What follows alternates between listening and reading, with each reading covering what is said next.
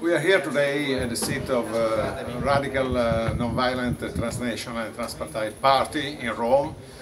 and uh, the conference is beginning on uh, a topic which is of utmost importance for the world, not only for Mediterranean countries, for Europe and for all the friends of the Iranian people. The topic today that we are going to discuss here in Rome is the Middle East and the role of Iran. I think uh, that uh, it is extremely important to get in depth into not only the analysis, but also in raising awareness and in taking a strong and firm position about what Iran and the mullahs are representing today as a risk, as a threat, as a threat and a very negative behavior for the international community and for humanity. As a follow-up to today's meeting for the Italian friends, another extremely important meeting will take place in Paris on the 30th of June. And is a meeting organized by the National Resistance uh, led by President Maryam Rajavi. President Rajavi has declared times and again over the last few weeks. The importance of entering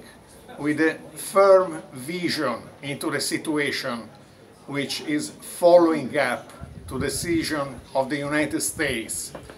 to exit from the JCPOA agreement, that is to say from the nuclear agreement, and to restate a strong set of sanctions against the Iranian regime, against the behavior